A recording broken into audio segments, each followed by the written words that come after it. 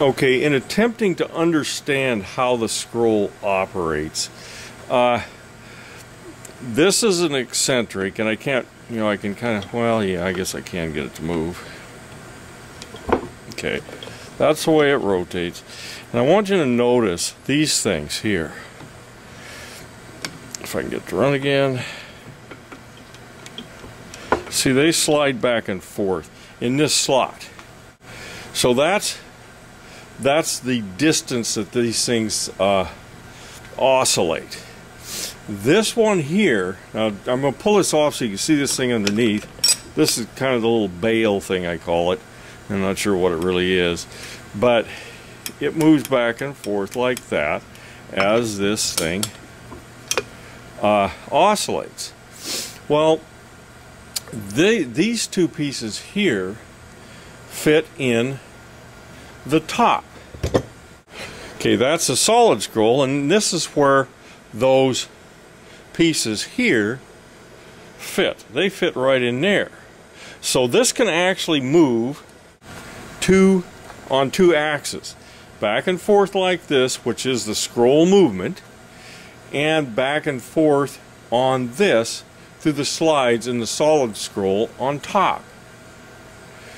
What it's doing, this sliding, see it has actually some movement there because it can slide back and forth this way, that allows the scrolls to separate when there's moisture, liquid, whatever, you know, in the, we hope there's no moisture, um, when there's liquid being pumped through this. And so instead of like a piston, it comes in contact with the head, and if there happens to be liquid in there, it can destroy the compressor. This one just backs up a little bit. This thing just slides a little bit. And it reduces its pumping capacity, but it doesn't damage it. So that's why you see these things with uh, no accumulators on their uh, heat pump systems because they don't really need it. You can pretty much run liquid straight through these things and they'll mostly survive it. Now eventually it'll uh, you'll lose lubrication because the oil gets diluted so much and so you'll have wear on these scrolls. But that's what they're doing. They're actually just moving a little bit out of the way. Because this axis here is the actual scroll doing its eccentric motion. And you can see the eccentric right there. This is, see if I can get it moved. You can see, if my fingers ain't too much in the way, that it just ro it rotates around on an orbit. And so, and it's a small orbit, it's not very big. And so when this is on there, it's doing that little orbit, and you can tell it really doesn't have to go very far because the top scroll fits onto this one. We only got about a little less than half an inch there. And then we take the eighth of an inch of the scroll, the top scroll that has to fit inside this thing, then you've only got maybe three eighths of an inch left.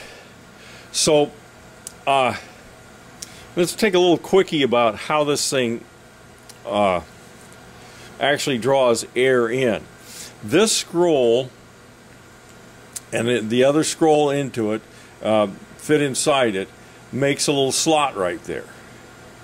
Well, as this thing oscillates, and you know it's oscillating back and forth like that, it tends to close up and trap some gas between the two scrolls, and then they go farther and farther, smaller and smaller space.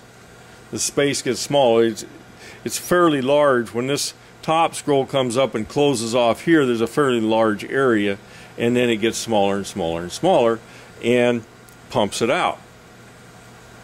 Well, if you got something in there like liquid, then instead of that scroll uh, touching this one, and making a close clearance with it, it'll actually back up a little bit. Uh, like, now let's see if I can get it to do it now. That's that's how much it'll back up. And so it provides a space for anything that gets in the scroll. Now, if you got dirt and crap like that in it, uh, you know, it may just may just reduce the pumping so much that it doesn't pump anymore. So don't pour dirt in the suction line or anything like that because it ain't going to work. Uh, these things do require a lot of lubrication and uh, if you look at these run uh, with the oil sump that's in the bottom of these things it, there's a fog coming out of here it makes quite a mess when you start it up and there's oil in there because the oil pump pumps a lot of oil up into this and it actually moves a lot of oil through it out into the system and back again. So it's a they're simple but complex but that movement back and forth this way is what saves these things from destroying themselves. Now it doesn't mean you can't destroy them you know service techs can destroy anything. Just give us a chance. Uh, I showed you the uh, copper plating on this one and uh, and that actually stopped it from running because when I put the top scroll on here there's actually well let's take a look at what the top scroll on.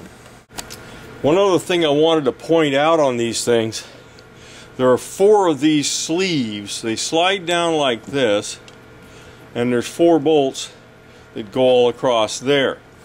Now if you look close and I'm going to bring this up close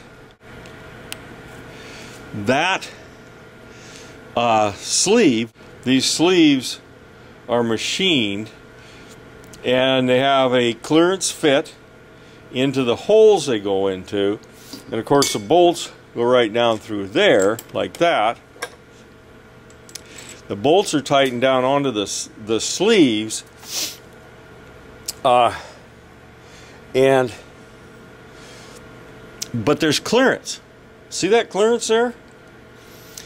When this, these are down on the sleeves, they're going to be tight against the sleeves, but not tight against this. This is actually going to be free to move down. And it looks like it's got at least a quarter inch, maybe 5 sixteenths of an inch, that it can go down.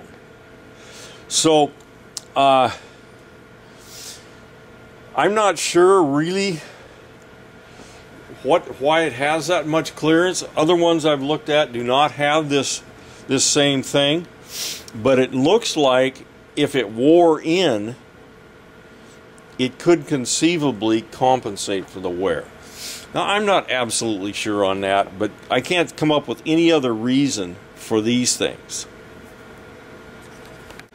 Okay, so that's kind of an explanation of the uh, uh, Copeland scroll. I did want to show one other thing. If you, there's a little bit of roughness there, but if I rotate this around, now you can see the heavy pitting on that sleeve and the uh, copper plating. And of course, that copper plating is going to reduce the uh, clearance of that sleeve and it could jam it. Well, that's about all I know about these uh, Copeland compressors. Uh, pretty interesting compressor. Uh, pretty much the standard anymore is going to be a scroll compressor.